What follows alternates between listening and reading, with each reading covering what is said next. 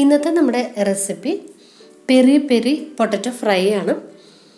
ഇതൊരു ആഫ്രിക്കൻ മസാല പൗഡറാണ് നമ്മൾ ഈ പെരി പെരി മസാല ചിക്കണിൽ യൂസ് ചെയ്യുക.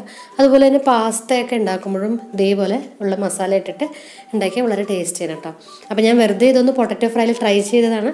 അപ്പോൾ ഒരുവിധം ടേസ്റ്റ് തോന്നി. അപ്പോൾ നിങ്ങൾക്കും അതുപോലെ ഇഷ്ടപ്പെടുമെന്ന് വിചാരിക്കണം ഇഷ്ടപ്പെടുകയാണെങ്കിൽ ലൈക്ക് ബട്ടൺ പ്രസ് ചെയ്യേണ്ട കാര്യം മറക്കരുത് കേട്ടോ.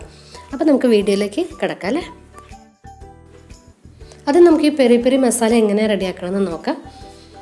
ഒറിഗാന കുറച്ച് ചേർത്ത് കൊടുക്കുക അതിനുശേഷം കുറച്ച് പട്ട പൊടിച്ചതാണ്. അതുകൂടെ ചേർത്ത് കൊടുക്കുക ഇതെല്ലാം കുറച്ച് കുറച്ച് മതി കേട്ടോ അതിട്ടതിന് ശേഷം നമുക്കിതിലേക്ക് ജിഞ്ചറും ഗാർലിക്കും കൂടെ പേസ്റ്റ് ആക്കിയതാണ്. ഇതിന്റെ പൗഡർ ആണെങ്കിൽ അതിട്ടാലും മതി കേട്ടോ ജിഞ്ചർ ഗാർലിക് പൗഡറായിട്ട് യൂസ് ചെയ്താലും മതി. പിന്നീട് ചില്ലി ഫ്ലേക്സ് ഇത് കാശ്മീരി ചില്ലി പൗഡർ അതിനുശേഷം കുരുമുളക് പൊടി പിന്നീട് കുറച്ച് ഉപ്പ്. ഇതെല്ലാം കൂടെ ചേർത്തിട്ട് കുറച്ച് വെള്ളത്തിൽ ഒന്ന് മിക്സ് ചെയ്തിട്ട് എടുക്കാം. ഇപ്പോൾ ഡ്രൈ ആയിട്ടുള്ള പൗഡർ ആക്കിയിട്ട് ചേർക്കണമെങ്കിൽ നമുക്ക് മിക്സ് ചെയ്യാൻ എളുപ്പമാണല്ലോ. അപ്പോൾ ഞാനത് കുറച്ച് മിക്സ് ചെയ്യാൻ വേണ്ടിയിട്ടാണ് കുറച്ച് വെള്ളം യൂസ് ചെയ്തത് കേട്ടോ അതിനുശേഷം ഇതിപ്പോൾ പൊട്ടറ്റോ ഇതുപോലെ നീളത്തിൽ കട്ട് ചെയ്താണ്. ഫിംഗർ ചിപ്സിനൊക്കെ നമ്മൾ കട്ട് ചെയ്യുമല്ലോ. അതേപോലെ കട്ട് ചെയ്തിട്ട് എടുത്തതാണ്.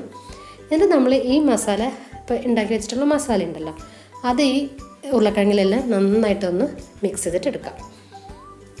അതങ്ങനെ നന്നായിട്ട് മിക്സ് ചെയ്ത് കഴിഞ്ഞാൽ ഒരു പത്ത് പതിനഞ്ച് മിനിറ്റ് നമുക്കത് റെസ്റ്റ് ചെയ്യാനായിട്ട് വയ്ക്കാം ഈ മസാല എല്ലാം ഇതിൽ നന്നായിട്ടൊന്ന് പിടിച്ച് വരണമല്ലോ അങ്ങനെ റെസ്റ്റ് ചെയ്ത് കഴിഞ്ഞാൽ നമുക്ക് പിന്നെ നമ്മൾ സാധാരണ ആ പൊട്ടറ്റോ ഫ്രൈ ചെയ്തെടുക്കണ പോലെ തന്നെ നന്നായിട്ട് എണ്ണ ചൂടാകുമ്പോൾ ഇതേപോലെ ഫ്രൈ ചെയ്തിട്ടെടുക്കാം നമ്മുടെ peri peri potato fry ready ആയിട്ടുണ്ട് കേട്ടോ.